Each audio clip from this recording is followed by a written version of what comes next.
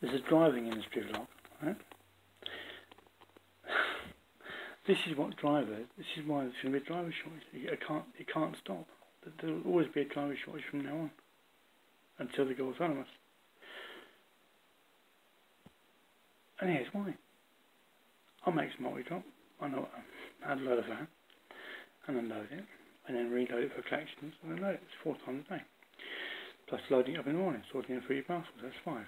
Five times five times loading a sprinter. Right? Or sorting through the a full load, full load of parcels, right? Jobs advertised for nine pounds seventy an hour. And you've got to show enthusiasm and all that for nine pounds seventy, right?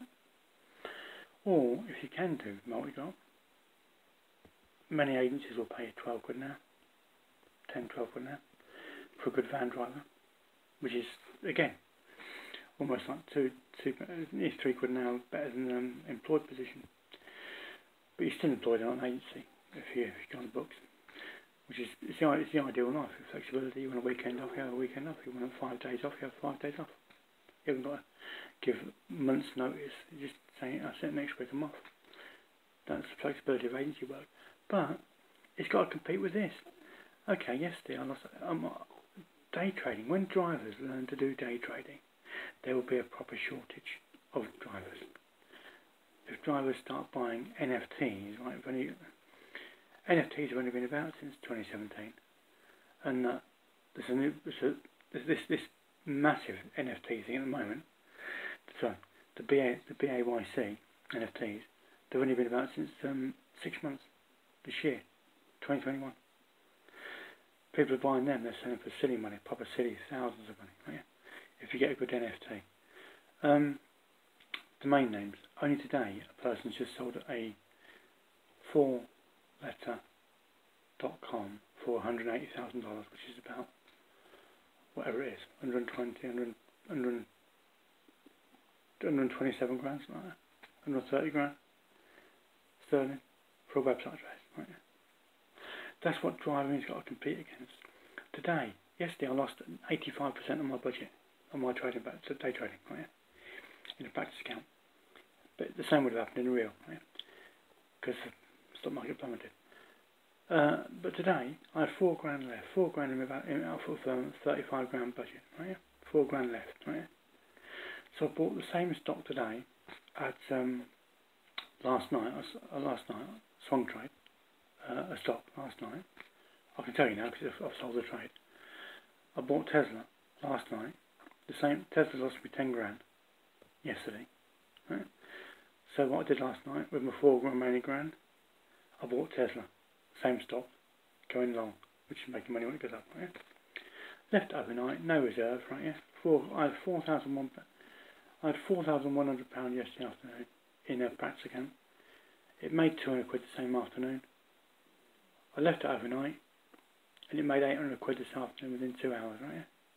That's what driving has got to, compete. and that's only four grand. Most people have got four grand on them. Do not trade on my advice. Look into it properly. Do research on day trading. Right? I've, I've looked at stocks for donkey's years, right? Not stocks and shares. Um, I trade a certain way. It's always use stop loss. Always use stop loss in your account. But that's what drive, the driving industry's got to compete against day trading, right? The driving industry's got to compete against somebody paying 10 quid. I paid 18 quid yes, uh, yesterday. Yesterday? This morning. Yesterday. Um, I bought um, a two keyword GTLD, 18 quid. Independently valued at £1,100, right? Straight away. It's worth more than that. That's what the driving industry has got to compete against. People in being in more investors than going to work for 40 hour weeks. Nothing can compete with remote off grid people being domain name investors, day traders, Etsy, buying stuff and selling stuff on Etsy, eBay, uh, Amazon. Um, nobody, no industry can compete with people wanting to downsize, which is minimalism, pretty much, and living in a camper van, right? Van life driving industry can't compete with that. And that's why you're going to have massive driver shortages. Huge driver shortages.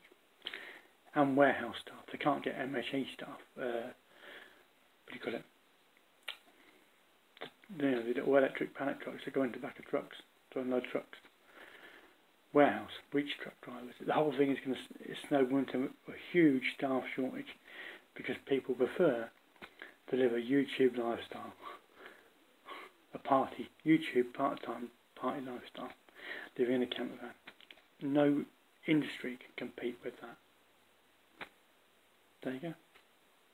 Who'd want to load a four meter, uh, a long wheelbase sprinter four times a day, twenty times a week, for nine pounds seventy an hour? When people can just actually do a pick the phone up, take a video, bring it on YouTube, and wait for the ad dollars to roll in. That's where we are. You can swing trade stocks even while you're working, if you know what you're doing. You can day trade stocks in your lunch break.